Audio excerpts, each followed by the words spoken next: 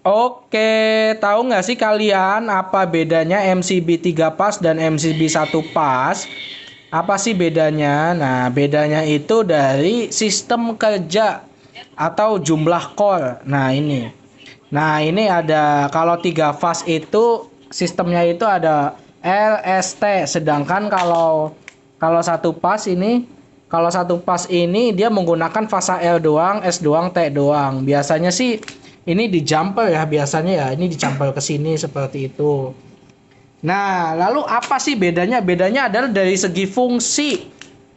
Kalau ini adalah proteksi MCB 3 pas yaitu sistem 3 fasa. 3 fase itu 380 sedangkan kalau ini adalah sistem satu pas yang biasa di rumah-rumah ini biasanya pakai ini nih seperti ini.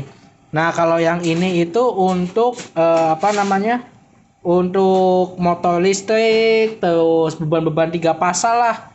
Seperti itu. Nah terus apakah ratingnya sama gitu? Ya ratingnya sih sama-sama aja ya. Nah ini ada C16 berarti 16 ampere. Ini ada C6A ya 6, 6 ampere. Karena MCB itu kan dari 0 sampai 100 ya MCB itu.